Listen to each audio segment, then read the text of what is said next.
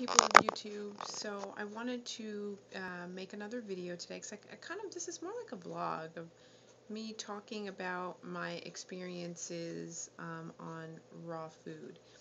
Um, so I've been on this journey now for about a year where I have started, I started gradually juicing where I was juicing and I would have a juice in the morning Sometimes it would be a green juice, sometimes it would be apple juice, sometimes it would be carrot, apple, ginger juice.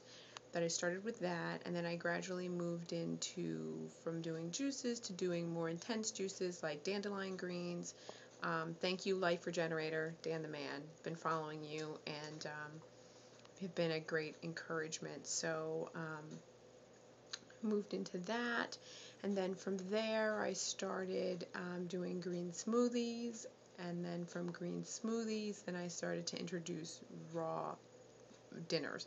So for those of you who follow me, you know that I do green drink in the morning, first thing. Mid morning, I have a green smoothie. Midday, I have um, some other type of juice, whatever kind of juice. And then midday, um, I start introducing like food. Like I'll eat like, you know, snacks like these are amazing. They're pizza flax snack crackers that are all gluten free, wheat free, nut free, and they are part of the Go Raw family. So I'll eat a snack, something like that. And I'm in the process of um, coming up with my own recipe for a flax seed cracker with vegetable pulp or some derivative of that. I'll film that and put that up for you guys to see. Or making some kind of onion bread or something like that and I have that. And then, for instance, last night I made um, on romaine lettuce, um, avocado, onions. Maybe I'll film that so you can see, you know, because I brought some for lunch today, so you can see what I had for that. So anyway, so what I wanted to talk about was um, I'm trying to go 100% raw.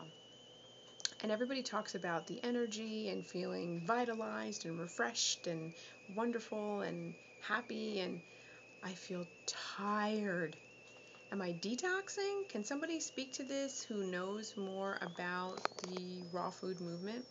For instance, last night I went to bed at like 9 o'clock or 9.30. I was really, really tired. Um, today, you know, we are changing seasons, so I don't know if we're going in the autumnal equinox and moving into autumn. I don't know if that has um, playing a factor or if because I'm, you know, changing my diet, but I'm just I'm having headaches. Um, I do a lot of physical activity. Um, I vary my activity between P90X and TurboFire, and I do a lot of yoga, Ashtanga yoga. And I find when I do my yoga that I get lightheaded, I get dizzy, I feel like I'm going to pass out. Now, I'm eating plenty. I know that I'm, you know, what I'm eating is sufficient to sustain me. But I just wonder if this is a, a, a, byproduct of detoxing and if I need to do what Mr. Matt Monarch says from the Raw Food World TV show, if I need to detox and cleanse the colon. I don't know. I haven't done anything like that yet. But I wanted to put this out there and ask people, what do you think?